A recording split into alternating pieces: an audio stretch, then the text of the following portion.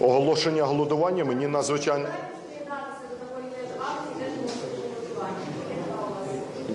Е, Ні, я не збираюся приєднуватися за голодування, я так хорошо виглядаю. Мені немає куди голодувати. Якщо, знаєте, кажуть, поки гладкий схудне, худий здохне.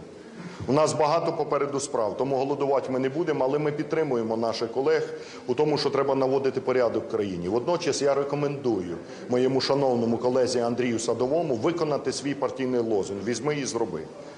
11 років мером.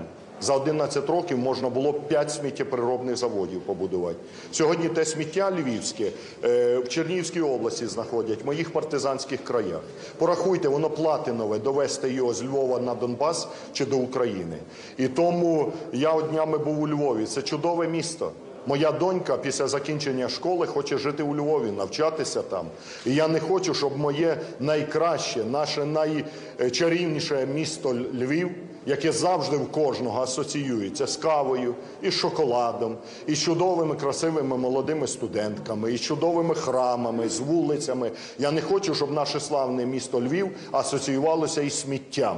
Оці асоціації Львову із сміттям е, ранять мене глибоко в серце. Тому я пропоную Андрію Садовому, Андрій Іванович, візьми і зроби. Побудуй сміттєпереробний завод. Є 2 мільярди гривень на розвиток Львова. Візьміть і побудуйте цей завод.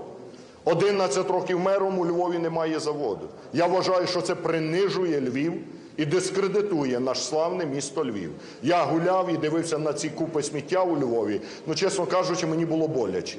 Я не народився у Львові, я там не живу, але я дуже люблю Львів. Я дуже люблю львів'ян. І я не хочу, щоб це місто асоціювалося е, зі сміттям. Я хочу, щоб наш Львів асоціювався тільки з найкращим. Із привітними галичанами, із чудовою запашною кавою, і смачним шоколадом дієтичним, і з усіма іншими принадами, яким е, славиться наш Львів.